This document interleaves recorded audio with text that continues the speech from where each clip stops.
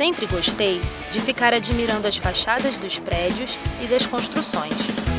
Gosto de formas diferentes e arrojadas e por isso decidi fazer arquitetura. Sou a Mariana e estou no último ano do curso de Arquitetura e Urbanismo na Universidade São Judas.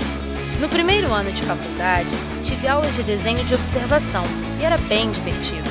Também tive aulas onde nos foram ensinadas as técnicas para a elaboração de um projeto. Desenvolvemos maquetes físicas, mockups com papelão e madeira e diversos outros projetos. Essa experiência foi de extrema importância para nos dar noção de espaço e de estrutura. Também só podia ter essa diversidade e dinamismo aqui na São Judas. Sou muito orgulhosa de estudar aqui e indico o curso de arquitetura.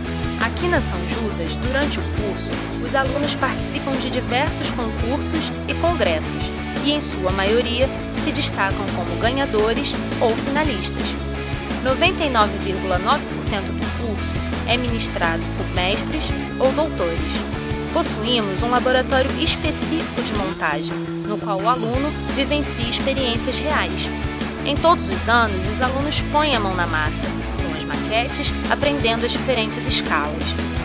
Em resumo, o curso apresenta uma linha de ensino completa, iniciando o entendimento de uma unidade de habitação até a elaboração máxima do espaço. Venha estudar aqui!